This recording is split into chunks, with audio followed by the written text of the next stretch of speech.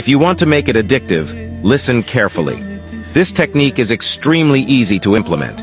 You just need to make sure you have the best date possible. Laugh, spend time together, etc. The goal is for the person to be ecstatic. Keep in mind that the better the date goes, the more effective this technique will be. So, don't neglect the dating phase at all. Once everything has gone well, send them a final message like, Did you get home safely? I really enjoyed the time we spent together. After that, disappear. No more messages. Let the magic happen. You'll drive that person crazy. And believe me, those who comment, saying that it won't work on them, don't listen to them. They are usually the ones who fall most easily into this kind of trap. She will want to know why you disappeared, especially since you had a good time together. It will touch their ego and self-esteem, making them feel obligated to contact you again or even try to arrange another date to reassure themselves that they did nothing wrong during the first date. Use this with moderation.